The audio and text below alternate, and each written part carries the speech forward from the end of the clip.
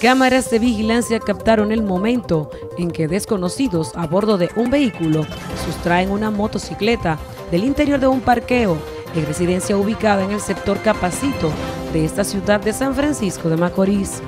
En las imágenes se aprecia cuando uno de los desaprensivos se desmonta del vehículo, abre la marquesina y bajo fuerza saca la motocicleta y emprende la huida. En los últimos días es notable el incremento de los robos en distintas zonas de este municipio. Para NTN, su noticiero regional, Joanny Paulino.